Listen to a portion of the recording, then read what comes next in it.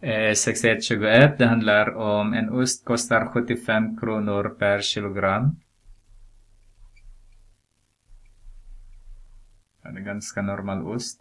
Låt y kan vara priset för x kilogram, så y är lika med 75 per kilo, så alltså 75x.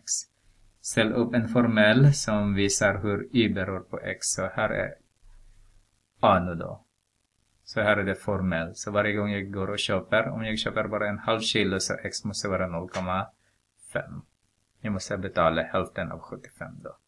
B. Eh, vad är y om x är lika med 2,5? och så köper jag 2,5 kilogram egentligen betyder det. Så har vi y är lika med 75 multiplicerat med 2,5. Så har jag eh, y är lika med 75 gånger 2 är 150 eh, plus 187 och 50 hoppas jag är det.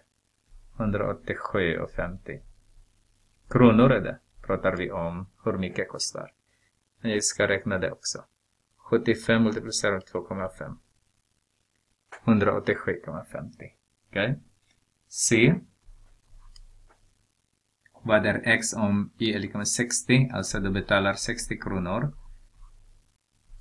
Hur många kilo blir det? Så, det var frågan. Så har vi 60 är lika med 75 multiplicerat med x. Dividerar vi båda led med 75. Det är mindre än 1 kilo i alla fall. Så om vi dividerar det med eh, 15 så får vi 4 femtedelar. Eller 0,8 80 kilogram.